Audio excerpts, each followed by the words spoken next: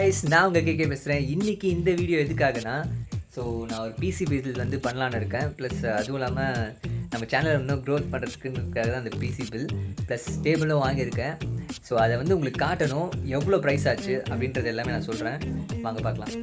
இந்த டேபிள் வந்து பாருங்கள் இந்த டேபிளோட சைஸ் வந்து ஃபோர் இன்ச்சு லென்த் வந்து வித்து வந்து டூ இன்ச்சு இதோட ஹைட்டு வந்து பார்த்திங்கன்னா டூ பாயிண்ட் த்ரீ இன்ச்சு நினைக்கிறேன். ஆமாம் two point three inch draw ஒன்று செட் பண்ணியிருக்கேன்.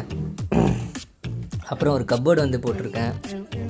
அதுக்கப்புறம் வந்து எல்லாருக்கும் செட் பண்ணுற மாதிரி தான் செட் பண்ணி வச்சுருக்கேன். பட் இது எனக்கு இதை நான் எப்படி மாற்றுறேன்னு மட்டும் பாருங்கள் ஒயரிங்லாம் பண்ணணும். ப்ளஸ் பார்த்தீங்கன்னா அந்த இடத்துல ஒரே கிளம்ஸியாக இருக்குது அதுவும் இந்த இடம்லாம் பார்த்தீங்கன்னா நல்லாவே இல்லை.